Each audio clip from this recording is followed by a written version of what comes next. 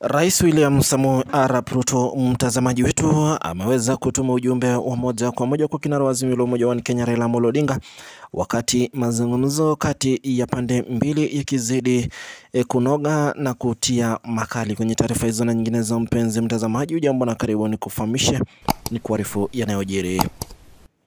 Hali ya kisiasa nchini Kenya imechukua mkondo wa kuvutia huku Rais William Samoei Ruto akituma ujumbe wa moja kwa moja kwa kiongozi wa upinzani Raila Amolo Odinga, huku mazungumzo kati ya pande mbili yakizidi kuendelea.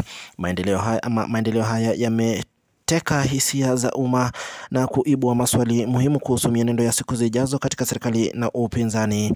Katika insha hii tutachunguza ujumbe wa Rais William Samoei Ruto kwa Raila Odinga, kuchanganua athari zake zinazoweza ama zinazowezekana na kutafakari maana yake kwa hali ya kisiasa ya Kenya kusonga mbele. Ujumbe wa Rais Ruto kwa Raila Odinga unahusu pendekezo kuanzishwa kwa ofisi rasmi ya kiongozi wa upinzani, huku pendekezo hili lina umuhimu mkubwa, kwani linaashiria nia ya Rais Ruto kushirikiana na upinzani na kuhakikisha utawala unaowajibika nchini Kenya.